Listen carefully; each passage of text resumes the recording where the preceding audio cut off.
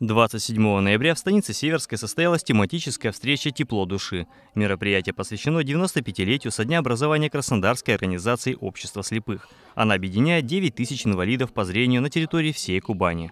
Торжественное собрание посетил глава района Адам Джарим. Вы знаете, вот находясь хоть такое короткое время среди вас, я заряжаюсь от вас, вот той энергии, которая исходит от вас.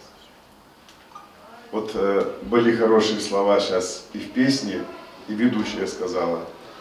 Можно быть здоровым человеком, да, но в то же время не иметь ни душу, ни сердца, и, и мир вокруг тебя будет темным. Несмотря ни на что, вы друг за друга держитесь. Вы в душе всегда храните то тепло, редкое тепло, которое можно где-то получить. Это очень важно.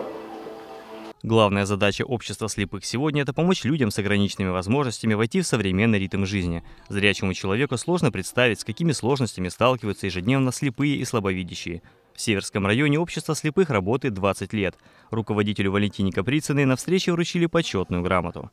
Сегодня почетной грамотой администрации муниципального образования Северский район награждается Валентина Герасимовна Каприцына,